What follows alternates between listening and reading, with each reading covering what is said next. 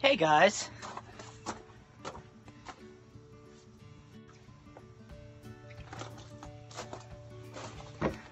I've got some frogs.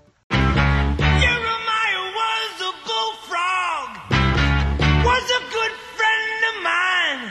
I never understood a single word he said, but I helped him a drink his wine. Well, let's talk about a little bit about the physical aspect of an American bullfrog. We'll look at this bigger one. A lot of people mainly look at these frogs and think, ew, they're all slimy. And the truth is, they are. Let's start with these legs. If you can see these legs here are very muscular, they can jump a very good distance. The feet, they got webbed feet, helps them swim through the water. Now, this is not a big frog. He's big enough to eat. You'll see the coloration? It's a dark green, blend in with all the moss and stuff he'll be hiding in. So he's a nice pattern on the light side.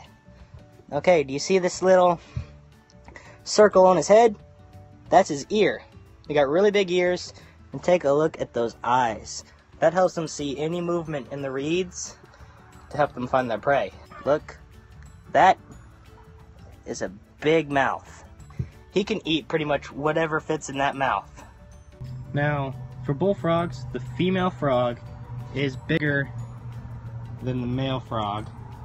So I'm gonna assume this is my this is the female frog and the other frog is the male frog. Unfortunately, the other frog got away. They're pretty strong animals. Now, in the mating season, they can lay up to 20,000 eggs. That's why there's so many of them everywhere you go. They can live for about 10 years. They can live for a few years longer than that, kept as pets. Pound and a half. Some of the bigger frogs may get up to 3 pounds at the most. Now, they're found all over North America, United States, Mexico, and Canada, but they can also be found in Asia and Europe.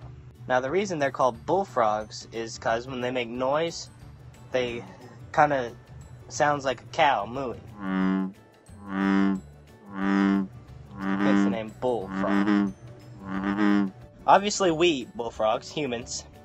Now, they're also preyed upon on otters, minks, raccoons, water snakes, herons, and snapping turtles. Now, what this little guy is going to eat, he's got a he has a really big mouth, so he'll eat just about anything that fits in his mouth, like um, bugs. He'll eat snakes. He'll eat crayfish. Uh, he'll eat small birds. He'll eat frogs. Now, bullfrogs are cannibalistic, so he'll even eat other bullfrogs.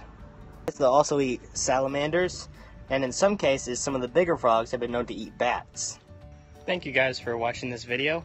If you liked this video, please give it a thumbs up. If you have any more questions about this animal, leave it in a comment below. And if you think of what animal I should do next, comment please.